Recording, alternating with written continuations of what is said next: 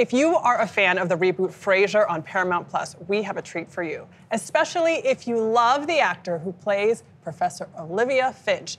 We're talking about Toks Olagundoye. She talks, she takes on the role of the quirky chair of the Harvard Psychology Department, where Kelsey Grammer's character, Frasier Crane, is currently a lecturer.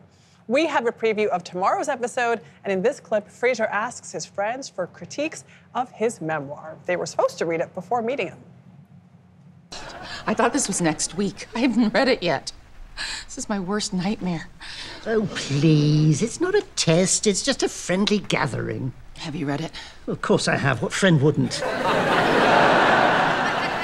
Look, Frasier's probably feeling vulnerable, so just make up something positive and thoughtful. Like what? Well, I, I plan on saying um, I loved how the themes of his childhood reverberated throughout his life. Really is a richly woven tapestry. All right, well, uh, the backup brie is in the oven. All right. So, who'd like to go first then? Uh, Olivia? Me? um, well, I liked how the themes of your childhood reverberated throughout your life.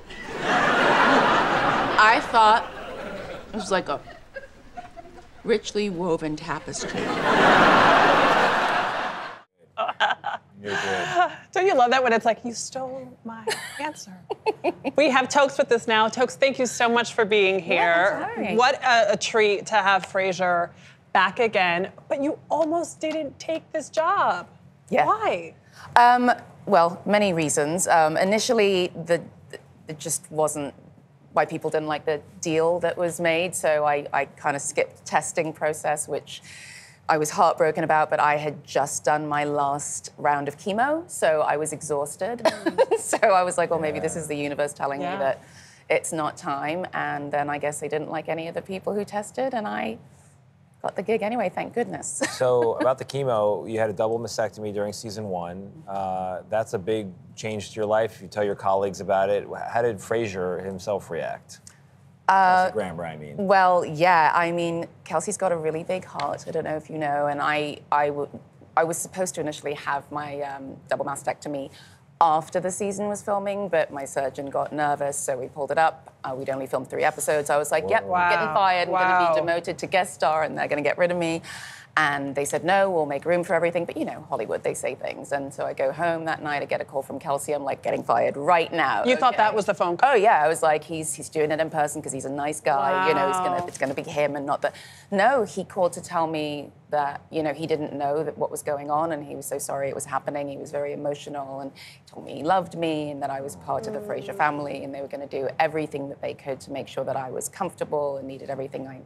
I, I needed to, you know, because I needed time, and Yeah. um, yeah, they uh, they made it very easy for me to go through that, and they were amazing and loving and wonderful. And I mean, that is the first time that I felt that kind of bond with someone I worked with and for, because to have someone take care of you in that way is very special. So how did you go through it? I mean, how did you? How were you able to act and, and be active on set and and go through what must have been an ex- extremely exhausting and painful process? Yeah, I mean, I don't know. I I just did it. You know, I've I've always been that way. I've always I've, I was born and raised in Nigeria. My dad's Nigerian. My mother's Norwegian. So the people who are just like get it done. They're tough. yeah, you know. Yeah. And um, I'd had my first three surgeries while I was filming Fatal Attraction. Anyway, um, and then I was doing I was working throughout my chemos, doing my voiceover gigs, and so, you know, it wasn't easy, but um, it was also really nice to be around laughter and people I loved and something I loved doing Oh, I every bet. day, Yeah. rather than just sitting at home, you know. Yeah.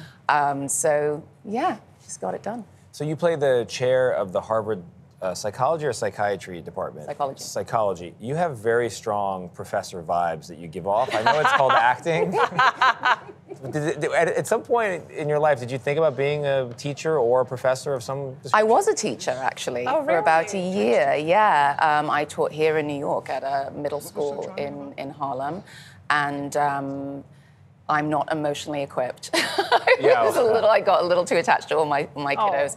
Um, but um, yeah, I mean, originally I was going to go into law, which you know sooner or later, I'm sure I would have become a professor. It's all making sense now. Yes. Yeah, it's all coming together. You have said that having cancer has helped you not worry, that you were almost relieved when you got diagnosed. Yeah. Tell us about that. There's a lot of cancer in my family. I've lost a lot of loved ones to cancer, and I've been worried my whole life about it. Um, so, ironically, I've always been very healthy. Like, you know, everything I do in my life, the way I eat, exercise, whatever, is centered around being healthy. So, ironically, still got cancer, but I was like, oh, okay, this is the one I'm getting.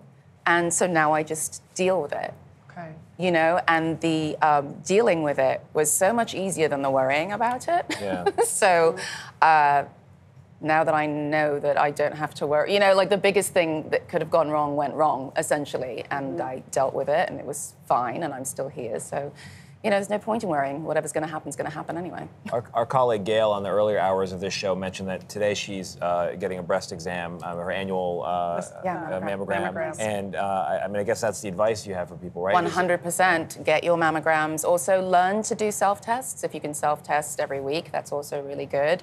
Um, or teach your teach your partner to test you. Make it fun. I don't know. Um, and and I mean across the board for everyone, not just women. Like whatever your annual checkup is, please do that. You know, even if it's oral, dentist, whatever. Yeah. Do get take care of yourselves. All But right. You're okay now. Totally fine. I love You that. look great, and you're going to be on a panel later Great. today to talk about disparities in breast cancer, right? Black women are more likely to die from breast cancer, Yeah. which is unbelievable. Yeah. Well, it, it's it's believable. It's believable. yeah. Yeah. Also childbirth. Yes, yes. Thank you so much for the work that you're doing and for joining us today, Yeah. Tobes. Thank you for having me. All right, you can watch new episodes of Frasier every Thursday on Paramount Plus, which, like CBS, is a division of Paramount Global.